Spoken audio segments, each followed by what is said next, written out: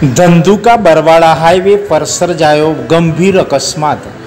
ઘટના સ્થળે એકનું મોત અને બેની હાલત ગંભીર હોવાના અહેવાલ પ્રાપ્ત થયા હતા.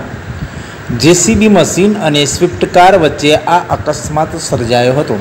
અકસ્માતમાં કાર સવારમાં ત્રણમાંથી એકનું ઘટના સ્થળે મોત અને બે અતિ ગંભીર ઇજાગ્રસ્ત થતાં તાત્કાલિક ઇજાગ્રસ્તોને હોસ્પિટલ ખાતે સારવાર અર્થે ખસેડવામાં આવ્યા હતા. અકસ્માત સર્જાતા ધંધુકા બરવાડા હાઈવે પર ટ્રાફિક જામના દ્રશ્યો પણ સર્જાયા હતા. ઇજાગ્રસ્તોને એકસો આઠ એમ્બ્યુલન્સ મારફતે ધંધુકાની એસ હોસ્પિટલ ખાતે ખસેડવામાં આવ્યા હતા. મૃતકને ધંધુકાની રેફરલ હોસ્પિટલ ખાતે પોસ્ટમોર્ટમ અર્થે ખસેડવામાં આવ્યો હતો. મૃતક અને ઇજાગ્રસ્તો એક જ પરિવારના સભ્યો હોવાના અહેવાલ પ્રાપ્ત થયા છે, જેમાં અકસ્માતમાં ધોલેરા તાલુકાના સોઢી ગામના પચાસ વર્ષીય ચંદુભાઈ કાળુભાઈ સરવૈયાનું ઘટના સ્થળે જ મોત નીપજ્યું હતું. કમકમાટી ભર્યું મોત થયું હતું.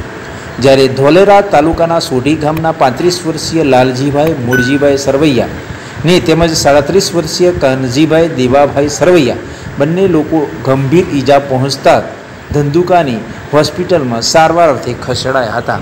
ઈજાગ્રસ્ત બંને પુરુષોની હાલત અતિ ગંભીર હોવાના અહેવાલ પ્રાપ્ત થયા છે. હાઈવે પર ટ્રાફિક જામ સર્જાતા ધંધુકા પોલીસે તાત્કાલિક ઘટના સ્થળે પહોંચી ટ્રાફિક હળવો કર્યો હતો.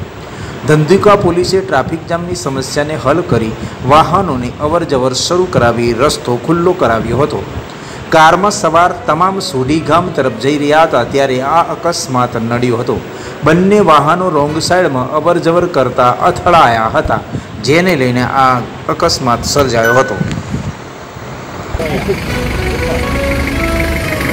Thank you.